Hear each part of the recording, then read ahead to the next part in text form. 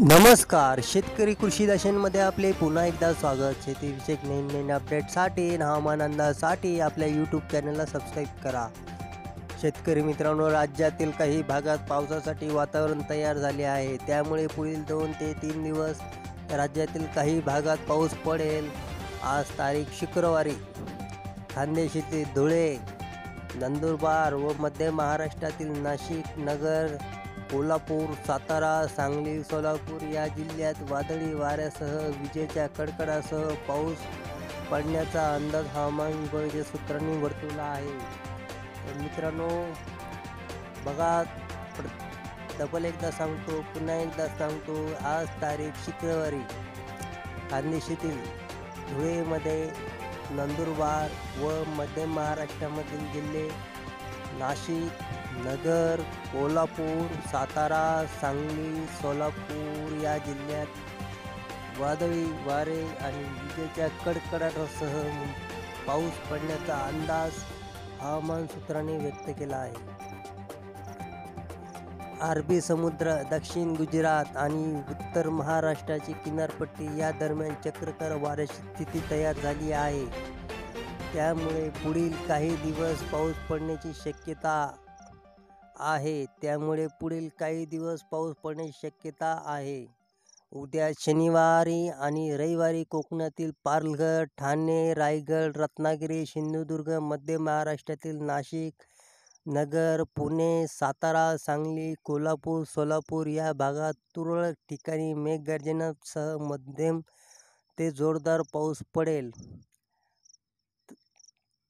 तर मित्रांनो उद्या पण पावसाचा अंदाज आहे बघा. शनिवारी आणि रविवारी कोकणातील मधील पालघर ठाणे रायगड रत्नागिरी सिंधुदुर्ग मध्य महाराष्ट्र नाशिक नगर पुणे सातारा सांगली कोल्हापूर सोलापूर या भागात तुरळक ठिकाणी मेघगर्जना मध्यम ते जोरदार पाऊस पडेल. आणि मराठवाडा व विदर्भात काही अंश ढगाळ वातावरण राहणार असून तुरळक ठिकाणी पावसाचा शिडका होण्याची शक्यता आहे तर अनेक भागात ऊन पडून उकाडा होण्याची शक्यता आहे.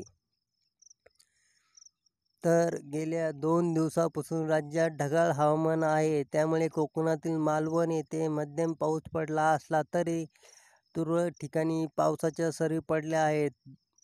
अनेक भागात पावसाची उघडीप असल्याने शेती कामे वेगाने सुरू झाली आहेत. मध्य महाराष्ट्रातील आटपाडी येथे सर्वाधिक ऐंशी मिलीमीटर पाऊस पडल्याची नोंद झाली आहे.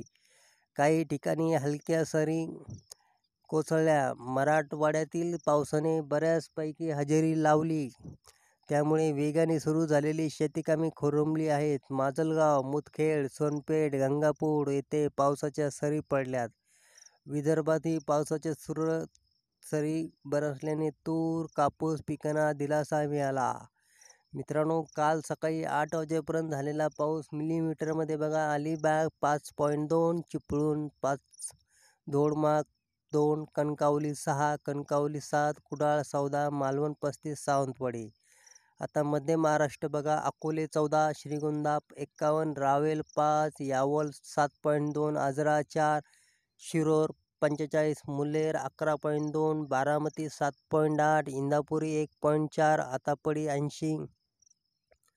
जत सत्तावीस कवटे महाकाळ वीस मिरज दहा प्लूस बावीस विटा सत्तावीस दहीवाडी चाळीस कोपरगाव त्रेसष्ट माळशिरस सव्वीस मंगळवेढा सात पॉईंट पाच सांगोला वीस.